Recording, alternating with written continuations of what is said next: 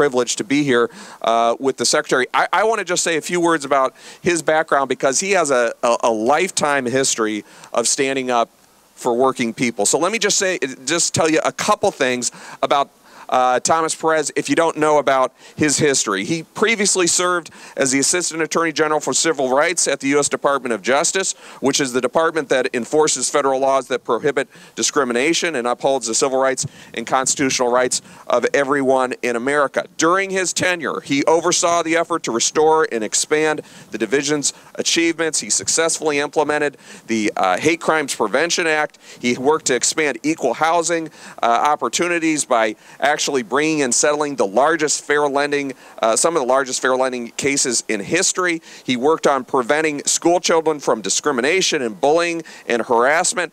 And he is, just in his short tenure, uh, as the Secretary of Labor, he has been such a strong voice. He's been one of the strongest voices that this country has seen in recent years to stand up for working people. So we're very happy to join with him on the Cleveland leg of his world tour, national tour. So, so let's give them a great Cleveland record uh, welcome and show them how we respect the work that's being done here. Secretary of Labor, Thomas Perez. Thank you so much, Mr. County Executive. Thanks, great to be here. Sure. Thank you so much. And Jill, thank you so much. And I couldn't agree more. Our best speaker is right to my left. I just saw a photo of her grandchild on her phone, and that's what she lives for, to serve others. It's an honor to be here in Cleveland. I grew up in Buffalo, New York. I love Lake Erie. This is a balmy day. It's a balmy day here on the Great Lakes, the great city by a great lake. I love Cleveland. It's great to be here. It's great to be here to talk about opportunity because that's really what we're talking about. That's what the president's talking about. He is all about expanding opportunity for everyone. And opportunity has really four pillars. Opportunity is about making sure we do more to create good jobs that pay a good wage. And by the way, I'll note, um, you know, in Toledo, I was reading the story about the Jeep uh, plant there. You know, the one that Mitt Romney said was going to China? Well, they're working 60 hours a week there now. They're working so hard that they're going to add up to a 1,000 new workers in that Jeep plant. Insourcing. And you know what? Something like 15% of those cars being produced are being sent overseas for sale. How, that's America that this president is building, creating good jobs, 48 consecutive months of private sector job growth to the tune of 8.7 million jobs. We have to do more, but we're moving in the right direction. Second pillar of opportunity, making sure everybody has access to the skills necessary to do those jobs. And that's why we do so much at the Department of Labor to make sure everybody has those opportunities. The third pillar is making sure that wonderful young women like you who brave the elements to be here today have access to a world-class education. Thank you for coming here today. You've got a good family. They're bringing you here, teaching you about making sure your voice is heard. This is called civics. And civics is about making sure at a grassroots level you make your voices heard to your elected officials. That's how change happens. Change doesn't initiate in Washington. Change comes to Washington. And change comes to Washington from Cleveland, comes from Columbus, comes from Cincinnati, comes from all over Ohio and the country. So thank you. And that fourth pillar of opportunity is to make sure we reward work with a fair wage. Nobody who works a full-time job in this country should have to live in poverty. Nobody. And yet you hear the story of Tracy working as many hours as she can, working as many jobs as she can find. I talk to so many people across this country who are making choices between a gallon of milk or a gallon of gas making choices between whether they buy food or whether they buy medicine, all because they're not making enough. All because the purchasing power of the minimum wage is 20% less than it was 30 years ago. Imagine if you work any job in America and you're told, I want you to take a 20% pay cut from when Ronald Reagan was president. 20%. You know, your, your food isn't going down. Your housing costs aren't going down. Cost of living ain't going down. That's right. And that's what's happened to so many workers across this country. And you know what? I want to tell you, Tracy, you do God's work, taking care of folks in a home health setting. And I want to thank my friends and colleagues at SEIU, at AFSCME, who have worked so hard to advocate on behalf of home health workers. And I was so proud as the labor secretary. There are 2 million home health workers in this country. And you know, I met one in Delaware who was a former home health worker. She went to work at McDonald's instead because she couldn't make ends meet, because there was a loophole in the wage and hour laws, and they weren't even entitled to get the minimum wage. And so I met people working 80 hours a week, making $350. Do the math. That's terrible. You can't live in that. And so we closed that loophole and made sure that everybody who's working in the home health industry can have access to the minimum wage and overtime protections because you are doing God's work. And I want to thank you for that. Americans need a raise. That's the, that is the bottom line. And there are over a million Ohioans who will benefit from an increase in the minimum wage. This will funnel literally a billion dollars into the Ohio economy right now. You know, I meet so many minimum wage workers who tell me, Tom, I do not want to be on food stamps. I want to be self sufficient. But I can't because I'm working hard and falling further behind. And you know, there was a recent study that said if you want to reduce the ranks of the food stamp recipients by over 3 million, if you want to save $4.6 billion a year, then raise the minimum wage. $46 billion savings over 10 years if we just raise the minimum wage. We are subsidizing the business models of all too many industries in this country. Some of them you're well aware of, you know, the fast food industry. But others you may not be aware of.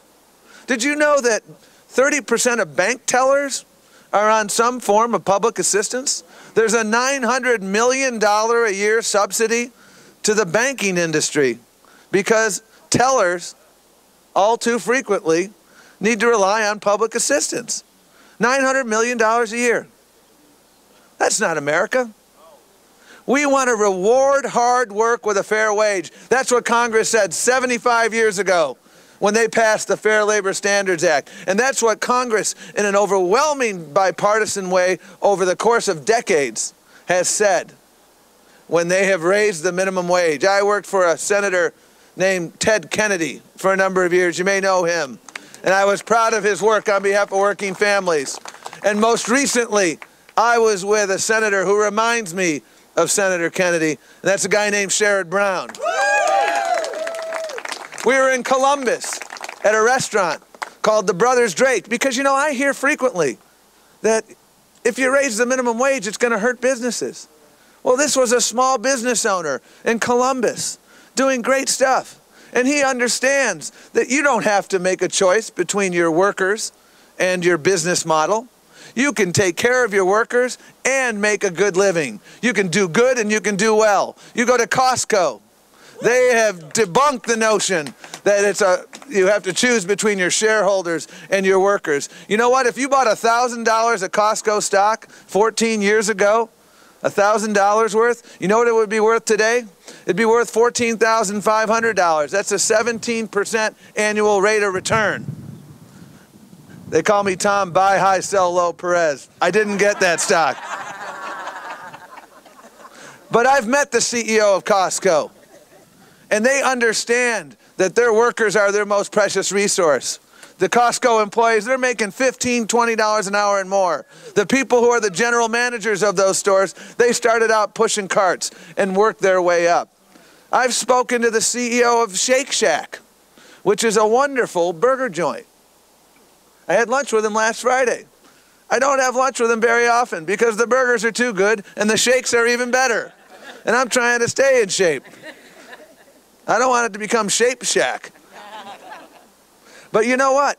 Every one of his workers makes a fair wage. At the end of every month, they get a bonus based on their performance. So, you know what? If, whether it's the big box retail model, whether it's the small restaurant in Columbus, whether it's the Ace Hardware store a half a mile from my office, whose owner pays above the minimum wage because you know why? She has a loyal workforce, she has less attrition, she has more efficiency, she has everything that Henry Ford had when 100 years ago he doubled the wages of workers on the assembly line. He did that because he had over 300% attrition. And he did that because he understood that, you know what? When you put money in people's pockets, when people can afford to buy the products you're making, they're going to spend that money. And you know what Tracy's going to do when the minimum wage gets increased? And you'll notice I said when. This is not an if question, ladies and gentlemen. This is a when question. You know what she's going to do?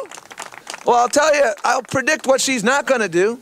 She's not going to open up an offshore bank account and put her money there. She's going to buy a present for her grandchild. She might even get a chance to treat herself to a restaurant once in a while. She will get to buy medicine. She will invest in our communities. And that is why when we put money in people's pockets, we stimulate the economy. Business owner after business owner tells me, I support a minimum wage in part because I need more customers. And when we put money in people's pockets, we have more customers. When we stimulate the economy and we grow our economy. And so that's what we have to do. That's why it's time for Americans to get a raise. And I want to say thank you to all of you who are here today. Thank you, Tracy, for giving voice to this wonderful issue. Thank you, Jill. Thank you, Mr. County Executive. Thank you to all of you. This started out as a brush fire, went into a prairie fire. It's a wildfire of access to fairness. That's what we're seeing across this country. I've met with mayors across this country, county executives across this country, governors across this country. You see the state of Connecticut. This bus was in Connecticut the day Connecticut raised the minimum wage. Just three days ago, 1010. Dan Malloy, call him up. Tell him, good job, Governor. Thank you for standing up for working families. And this prairie fire is going across America. And when you have people like Senator Brown and others saying, give America a raise, it can be done. And I know there's sometimes some pessimism. How do you get things done in Washington? Well, I'll tell you. I mentioned before and I'll mention again, I worked for a guy named Senator Kennedy. Back in 90, 1996, Newt Gingrich thought it was a good idea to shut down the federal government. It was a terrible idea. And in the aftermath, people were angry. And people said, you can't get anything done in Washington. In 96 was a presidential election year. You never get anything done in a presidential election year. Well, what happened that year? We passed immigration reform. We passed an increase in the minimum wage, welfare reform, a hate crimes bill, health reform, all in 1996 because the people demanded it. And that's what we're doing today. We cannot make progress without your voice being heard here in Cleveland, down in Columbus, over in Cincinnati, over in Toledo, across America. That's what we're going to do because Americans need a raise and Americans will get a raise. It's good for business, it's good for workers, it's good for America. Thank you very much. Thank you. Thanks so much. Really appreciate it.